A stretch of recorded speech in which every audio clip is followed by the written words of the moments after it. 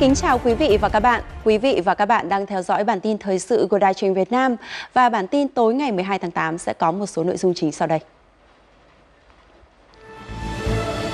Khai mạc phiên họp thứ 36 của Ủy ban Thường vụ Quốc hội khóa 14. Ngay ngày làm việc đầu tiên, một số vấn đề còn ý kiến khác nhau của luật kiểm toán nhà nước đã được đưa ra thảo luận. Lũ lụt bất thường, thiên tai khắc nghiệt đến từ chính những lý do mà con người không lường trước được. Câu chuyện phá rừng làm nhà kính ở Đà Lạt, Lâm Đồng. Tập huấn đi kèm với thực tế, khóa giảng dạy tiếng Việt cho giáo viên người Việt Nam ở nước ngoài vừa khai mạc vào sáng nay đã thu hút số lượng học viên tham gia đông nhất từ trước đến nay. Sau đây là nội dung chi tiết. Thưa quý vị, vào sáng ngày 12 tháng 8, dưới sự chủ trì của Chủ tịch Quốc hội Nguyễn Thị Kim Ngân, phiên họp lần thứ 36 của Ủy ban Thường vụ Quốc hội đã khai mạc. Trong ngày làm việc đầu tiên, Ủy ban Thường vụ Quốc hội đã cho ý kiến về 8 vấn đề còn ý kiến khác nhau của dự án luật sửa đổi bổ sung một số điều của luật kiểm toán nhà nước. Tại phiên họp, nhiều đại biểu đã bày tỏ sự đồng tình với đề xuất bổ sung quy định về thẩm quyền ban hành văn bản, xử phạm vi phạt hành chính trong dự luật bổ sung sửa đổi một số điều của luật kiểm toán nhà nước. Tuy nhiên, việc ban hành và quy trình xử phạt, mức xử phạt cần phải được quy định cụ thể trong luật ban hành văn bản quy phạm pháp luật và luật xử phạt vi phạm hành chính.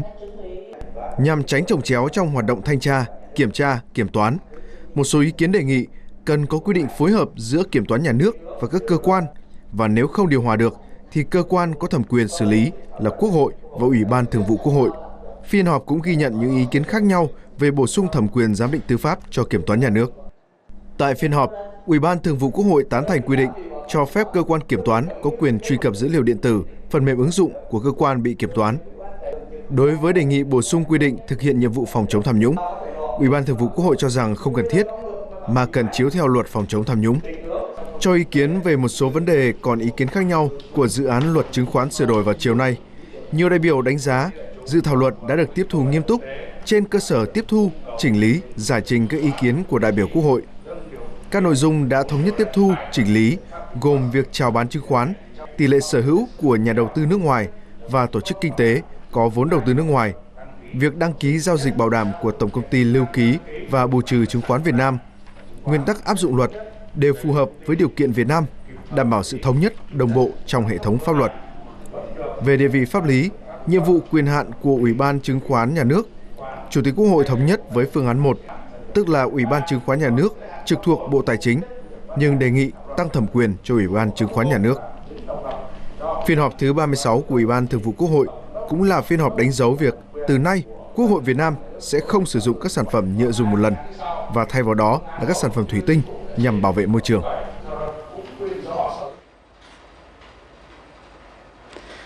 Cần xây dựng chính sách dân tộc trên nguyên tắc bình đẳng cùng phát triển, trong đó đảm bảo sự tham gia của phụ nữ dân tộc thiểu số trong xây dựng và thực hiện chính sách thúc đẩy bình đẳng giới. Đây là khuyến nghị của nhiều đại biểu tại hội thảo Thách thức và giải pháp để phụ nữ dân tộc thiểu số không bị bỏ lại phía sau do Hội Liên hiệp Phụ nữ Việt Nam phối hợp với Ủy ban dân tộc tổ chức vào sáng ngày 12 tháng 8. Theo các đại biểu, vẫn còn nhiều rào cản khiến cho phụ nữ vùng dân tộc thiểu số tiếp cận các chính sách. Có tới 49 dân tộc có tỷ lệ đi học dưới 50%. Tỷ lệ biết đọc biết viết tướng phổ thông còn thấp. Có tới 6 trên 53 dân tộc có tỷ lệ tảo hôn 50%. Phụ nữ dân tộc thiểu số làm công việc chuyên môn kỹ thuật rất thấp, chỉ khoảng 6%. Ở địa phương mình thì thường thường các bạn ấy uh, ít khi nghĩ rằng là mình đi học lên xong rồi sẽ được ừ, được thay đổi cái cái cuộc sống của mình nhé tại vì nó rất khó khăn về việc là tìm kiếm các cái cơ hội việc làm. Nhiều lúc là là các bạn ấy chỉ học hết lớp 9 Mặc dù Đảng, Nhà nước có nhiều chính sách pháp luật hỗ trợ vùng dân tộc thiểu số, hiện có tới 118 chương trình chính sách ưu tiên dành cho vùng này. Tuy nhiên, để phụ nữ dân tộc thiểu số không bị bỏ lại phía sau, các đại biểu cũng đưa ra nhiều khuyến nghị sửa đổi những bất cập của chính sách theo hướng ngày một bảo đảm hơn bình đẳng về giới đối với phụ nữ dân tộc thiểu số. Chúng ta đang là những chính sách mà mang từ tầm vĩ mô, chúng ta áp xuống cộng đồng thì chúng ta phải thay đổi cái quan điểm là chúng ta phải xây dựng chính sách từ cộng đồng đưa những cái nhu cầu thực tiết thực tế của người phụ nữ là cái trọng tâm của chính sách Phát biểu tại hội thảo, trưởng ban dân vận Trung ương Trương Thị Mai nhấn mạnh, qua 15 năm thực hiện nghị quyết 24 của Đảng về công tác dân tộc, nhiều kết quả đã được ghi nhận, nhiều chính sách pháp luật được thực thi và đi vào cuộc sống. Tuy nhiên, đồng chí Trương Thị Mai cho rằng để chính sách trở thành chiến lược bao quát toàn diện, các chính sách cần khuyến khích phụ nữ dân tộc thiểu số tham gia một cách chủ động, được học tập, hòa nhập và vươn lên. Đồng thời cần phải phân định chính sách, có phạm vi, ưu tiên vấn đề nào, có cơ chế điều phối và có kiểm tra giám sát, qua đó mới phát huy hiệu quả các chính sách cho các vùng dân tộc thiểu số. Cũng trong ngày 12 tháng 8, tại buổi tiếp ông Palab Sengupta, Tổng thư ký Tổ chức Hòa bình và Đoàn kết Ấn Độ, đang ở thăm và tham dự Liên hoan hữu nghị nhân dân Việt Nam Ấn Độ lần thứ 10 tại Việt Nam. Phó Chủ tịch nước Đặng Thị Ngọc Thịnh đánh giá cao vai trò của giao lưu nhân dân trong việc tăng cường tình hữu nghị giữa hai nước. Phó Chủ tịch nước mong muốn tại Liên hoan hữu nghị nhân dân Việt Nam Ấn Độ lần thứ 10, các đại biểu bên cạnh việc tìm hiểu về đất nước, con người và văn hóa thông qua các hoạt động giao lưu biểu diễn, còn cùng nhau trao đổi để đánh giá kết quả của liên hoan trong 12 năm qua và chuẩn bị những bước đi mới trong thời gian sắp tới, góp phần làm cho quan hệ hữu nghị và hợp tác Việt Ấn không ngừng phát triển. Phải đảm bảo tiến độ và chất lượng công trình. Đó là yêu cầu của Bộ trưởng Bộ Giao thông Vận tải Nguyễn Văn Thể trong cuộc kiểm tra hiện trường các dự án trọng điểm trên địa bàn thành phố Hà Nội. Bộ trưởng nhấn mạnh, cố gắng hoàn thành những dự án này sớm ngày nào thì việc đi lại của người dân đỡ khổ ngày ấy, đồng thời góp phần đảm bảo an toàn giao thông, chỉnh trang đô thị cho thủ đô. Sau hơn một năm thi công, tuyến đường vành đai 3 với tổng mức đầu tư hơn 5.300 tỷ đồng nối từ Mai Dịch tới cầu Thăng Long, thành phố Hà Nội khối lượng mới chỉ đạt hơn 39%. Trong khi đó, theo tiến độ ở giai đoạn này thì dự án phải đạt mức hơn 44% để hoàn thành mục tiêu đến quý 4 năm sau, dự án sẽ hoàn thành. Ủy ban đã yêu cầu tư vấn nhà thầu lập lại cái tiến độ và đồng thời là huy động thêm máy móc thiết bị để làm sao đáp ứng được cái tiến độ là đảm bảo là cuối năm 2019 là phải được giải ngân theo được cái khối lượng mà đã cam kết với bộ. Kiểm tra tại hiện trường, Bộ trưởng Bộ Giao thông Vận tải khẳng định hiện dự án không có lý do gì để chậm, các giải pháp để đảm bảo nguồn vốn, mặt bằng và kỹ thuật đều đã được bố trí và hoàn thành. Vì vậy, vấn đề chính chỉ còn nằm ở năng lực của các đơn vị tư vấn, nhà thầu thi công. Vấn đề này phía ban quản lý dự án phải hoàn toàn chịu trách nhiệm. Nối tiếp với tuyến đường vành đai 3 là cầu Thăng Long, sau 25 năm khai thác, công trình đã xuất hiện nhiều điểm hư hỏng nặng. Từ năm 2009 đến nay, Bộ Giao thông Vận tải đã tiến hành bảo dưỡng sửa chữa 3 lần, Tuy nhiên, hiện mặt đường trên cầu vẫn tiếp tục xuống cấp. Chính vì vậy, trong lần này, Bộ sẽ đánh giá lại toàn diện để lên phương án sửa chữa tổng thể cho công trình. Hiện nay thì có nhiều tư vấn ờ, đề xuất, thì chúng tôi sẽ cố gắng là chọn một cái phương án tốt nhất, có thể là kéo dài 5, 7 năm, 10 năm. Ờ, càng ờ, kéo dài càng tốt, dĩ nhiên kéo dài thì chi phí nó lớn. Tuy nhiên việc này chúng tôi sẽ cố gắng tối đa để sửa chữa toàn diện cái mặt cầu Thăng Long. Ngay sau cuộc kiểm tra này, Bộ sẽ lấy ý kiến của các bên liên quan và bắt tay ngay vào việc sửa chữa cầu Thăng Long sau khi có phương án hợp lý nhất. Bộ Giao thông Vận tải khẳng định phải thúc đẩy nhanh tiến độ các dự án trọng điểm bởi việc sớm hoàn thành những dự án này sớm ngày nào thì việc đi lại của người dân đỡ khổ ngày đấy. Đồng thời góp phần đảm bảo an toàn giao thông, chỉnh trang đô thị cho thủ đô Hà Nội.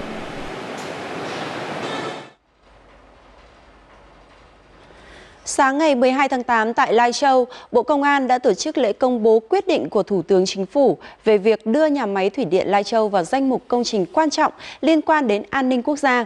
Nhà máy thủy điện Lai Châu hiện nay do công ty thủy điện Sơn La thuộc Tập đoàn Điện lực Việt Nam quản lý vận hành.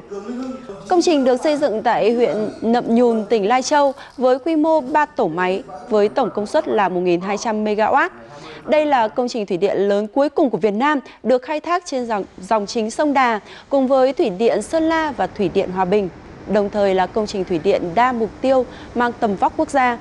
Thủ tướng giao các bộ ngành liên quan lập kế hoạch xây dựng phương án bảo vệ, tổ chức thực hiện theo đúng quy định của pháp luật về bảo vệ công trình quan trọng liên quan đến an ninh quốc gia. Như vậy, tính đến nay, cả ba nhà máy thủy điện trên bậc thang sông Đà gồm Hòa Bình, Sơn La, Lai Châu đều được công nhận là công trình quan trọng liên quan đến an ninh quốc gia. Cũng trong sáng ngày 12 tháng 8 tại thành phố Huế, Bộ Kế hoạch và Đầu tư đã phối hợp với Ủy ban Nhân dân tỉnh Thừa Thiên Huế tổ chức hội nghị xây dựng kế hoạch phát triển kinh tế xã hội và đầu tư công năm 2020 vùng miền Trung và Tây Nguyên. Tham dự hội nghị có đại diện lãnh đạo các bộ ban ngành trung ương cùng lãnh đạo của 19 tỉnh thành miền Trung và Tây Nguyên. Phát biểu khai mạc hội nghị, Thứ trưởng Bộ Kế hoạch và Đầu tư Nguyễn Đức Trung nhấn mạnh, trong thời gian qua, các địa phương trong vùng đã chú trọng nâng cao hiệu quả quản lý và sử dụng các nguồn vốn đầu tư nhà nước, góp phần thúc đẩy phát triển kinh tế. Theo dự kiến, các chỉ tiêu kinh tế xã hội năm 2019 của các tỉnh trong vùng đạt và vượt kế hoạch đề ra, tốc độ tăng trưởng kinh tế ước đạt 8,5%. Các chỉ tiêu về thu chi ngân sách, tổng mức lưu chuyển hàng hóa, thu hút đầu tư, tăng trưởng khá cao so với cùng kỳ và có đến 9 trên 10 chỉ tiêu đạt và vượt kế hoạch đề ra. Tuy nhiên, bên cạnh đó thì một số kết quả đạt được, hội nghị cũng đã chỉ ra một số tồn tại hạn chế cần tháo gỡ trong thời gian tới để thúc đẩy phát triển, đảm bảo thực hiện các chỉ tiêu kế hoạch năm 2019.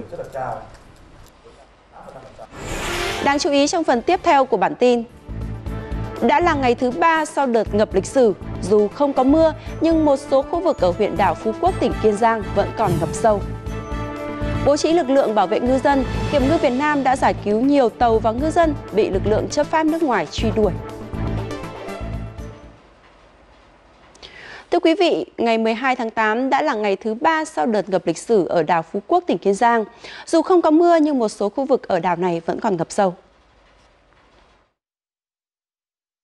Tại thị trấn Dương Đông, nước vẫn ngập lênh láng, người dân phải dùng những chiếc bè tự chế để đi ra ngoài.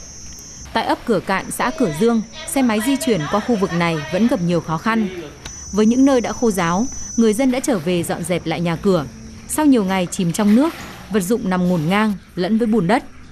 Từ ngày mùng 2 đến ngày mùng 9 tháng 8, mưa lớn kết hợp với chiều cường đã khiến nhiều nơi ở Phú Quốc ngập lụt chưa từng thấy. Theo thống kê của chính quyền địa phương, 63 km đường trên toàn huyện đảo bị ngập, có nơi ngập sâu nhất lên đến 2 mét. Gần 8.500 căn nhà bị ngập trong nước. Hàng nghìn người dân phải sơ tán. Hơn 70 chuyến bay bị ảnh hưởng. Tổng thiệt hại ước tính hơn 107 tỷ đồng. Nguyên nhân khiến Phú Quốc bị ngập sâu nhất trong lịch sử được lý giải một phần là do lượng mưa quá lớn. Chỉ trong 8 ngày, tổng lượng mưa đổ xuống Phú Quốc là hơn 1.000 mm, bằng 1 phần 3 lượng mưa trung bình nhiều năm. Tuy nhiên, nhiều chuyên gia nhận định đảo Phú Quốc ngập nặng như vậy còn do tốc độ đô thị hóa quá nhanh. Đô thị hóa nó diễn ra đang rất nhanh. À, đồng thời những cái hệ thống mà à, thoát nước đô thị hay là thoát nước của khu vực á, thì nó cũng chưa đáp ứng được cái cái à, trong cái điều kiện mà mưa lớn bất thường như vậy.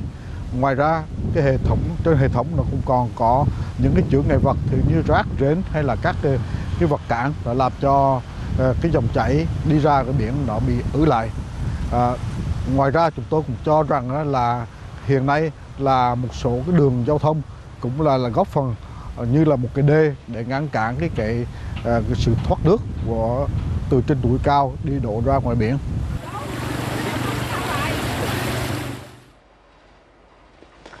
Mười người thiệt mạng, thiệt hại tài sản hơn 1.000 tỷ đồng. Đó là những con số mới nhất về thiệt hại trong đợt mưa lũ vừa qua ở Tây Nguyên và Nam Bộ. Và đằng sau những con số đó là cuộc sống của hàng ngàn gia đình bị đảo lộn.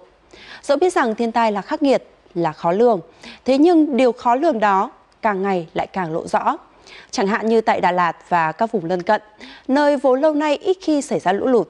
Vậy mà nhiều nơi đã tan hoang do nước lũ. Suốt những ngày qua, nhiều người luôn đặt câu hỏi vì sao lũ lụt trở nên bất thường như vậy? Có quá nhiều cách để bức tử rừng thông. Chặt hạ, bơm chất độc vào gốc cây để cây thông chết dần. Máy ủi đưa vào rừng. Một, hai ngày sang ủi. Vậy là rừng thông biến thành đất sản xuất nông nghiệp. Đó là đất nông nghiệp. Còn bữa nay thì đất nông nghiệp rồi.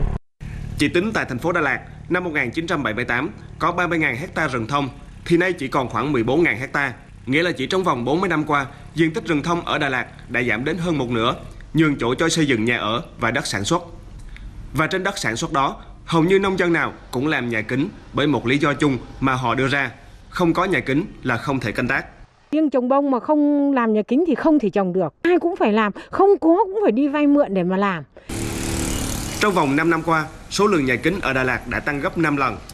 Cả Đà Lạt có hơn 5.000 hecta canh tác trong nhà kính, phủ hơn một nửa diện tích canh tác 10.000 hecta ở đây.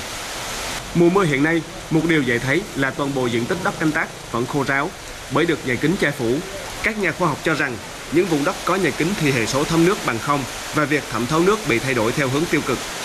Nếu như bình thường không có những nhà đấy thì lúc mà mưa xuống thì tất nhiên là nó rải đều trên bề mặt. Thế nhưng bây giờ nhà kính nó san sát gần như nó nó sát kín lên nhau. Thế thì rõ ràng là là mưa xuống thì nước mưa nó không ngấm xuống đất mà nó ngấm theo mái đấy và nó chảy thành dòng và cứ cái mái này nó liên tiếp mái kia đấy thì nó tạo ra những cái dòng chảy. Đợt lũ lụt vừa qua đã làm tan hoang nhiều khu nhà kính ở Lâm Đồng. Nhiều người cho rằng đây như là kết cục từ việc đánh đồng phát triển nông nghiệp công nghệ cao với ồ ạt làm nhà kính, gây tổn hại thiên nhiên. Điều đáng nói, tốc độ phát triển nhà kính, tốc độ mất rừng ở đây vẫn chưa dừng lại, lũ lụt bất thường sẽ đến lúc trở nên thường xuyên. Theo thông tin từ Cục Kiểm ngư Việt Nam, thời gian qua khi đang đánh bắt trên vùng biển thuộc thềm lục địa ở phía Nam gần khu vực giáp danh đường phân định thềm lục địa Việt Nam và Indonesia, thì tàu của ngư dân Việt Nam thường bị lực lượng chức năng Indonesia truy đuổi và bắt giữ trái phép. Lực lượng Kiểm ngư Việt Nam đã bố trí lực lượng bảo vệ ngư dân và kịp thời giải cứu nhiều tàu và ngư dân khỏi sự bắt giữ của lực lượng chấp pháp nước ngoài, tạo sự yên tâm cho bà con đánh bắt trên biển.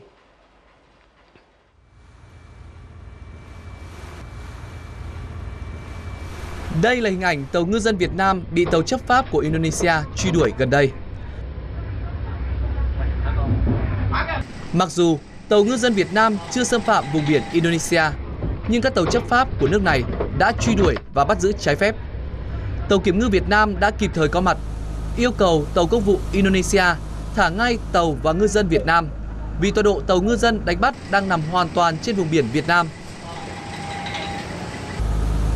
Còn đây là hình ảnh lực lượng kiểm ngư giải cứu hai tàu cá của tỉnh Bà Rịa Vũng Tàu khỏi lực lượng thanh tra thủy sản Indonesia khi hai tàu của ngư dân ta đang đánh bắt ở vùng biển Việt Nam.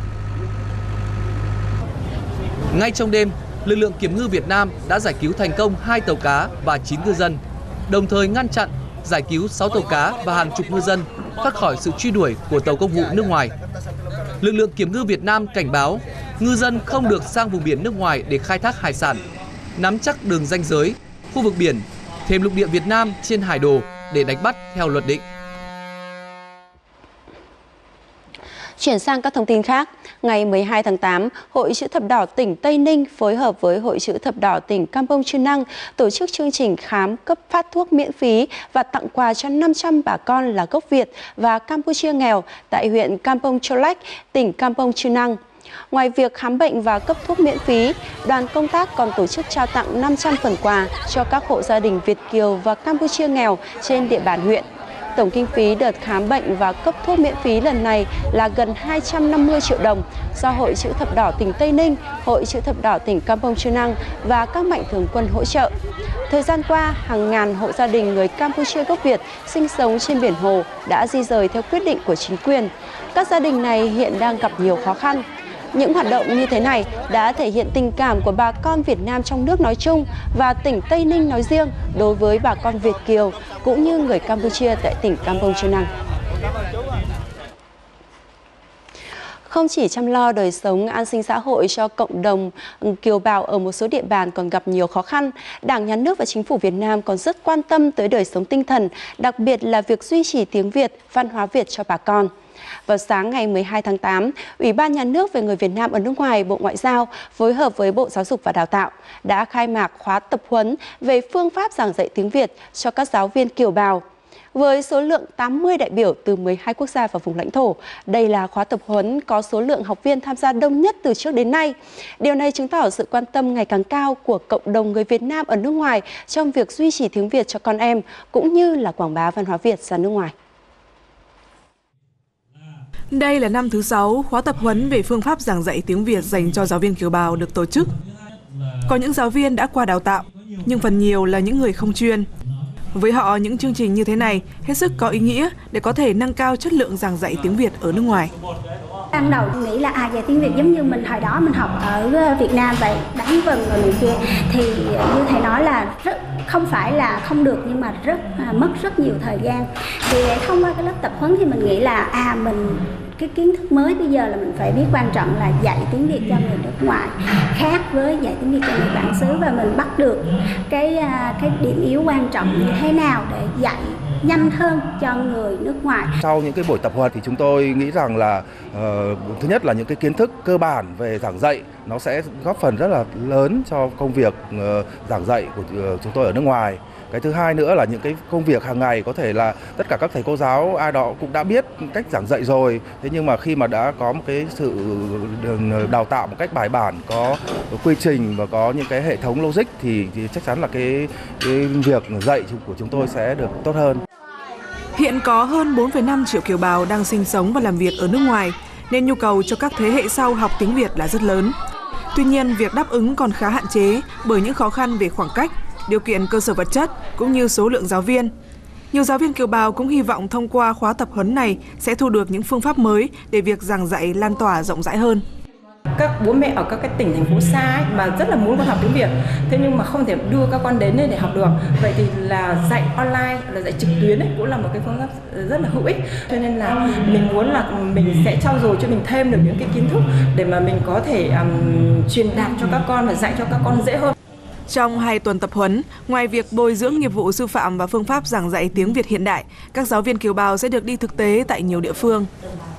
Chúng tôi còn tổ chức những cái chuyến đi thực tế ờ, đến các cái trường học, các cái cơ sở giáo dục ở trong nước ờ, và để cho chính các thầy các cô có thể cảm nhận được cái không khí ờ, học cũng như là các cái phương pháp giảng dạy trong các cái trường ở trong nước thế và từ đó thì các thầy các cô có thể rút ra những cái bài học những cái kinh nghiệm chỉ hơn 10 năm trở lại đây, Việt Nam đã có 3 đề án cấp quốc gia, bao gồm đề án dạy và học tiếng Việt, đề án dạy tiếng Việt trực tuyến và đề án nâng cao hiệu quả dạy và học tiếng Việt trong cộng đồng người Việt ở nước ngoài.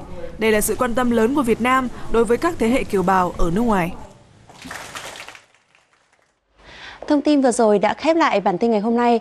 Để xem lại các chương trình của Ban truyền hình đối ngoại Đài truyền Việt Nam, quý vị có thể truy cập vào website vtv4.vtv.vn hoặc sử dụng ứng dụng VTV Go, kênh YouTube VTV4 Go.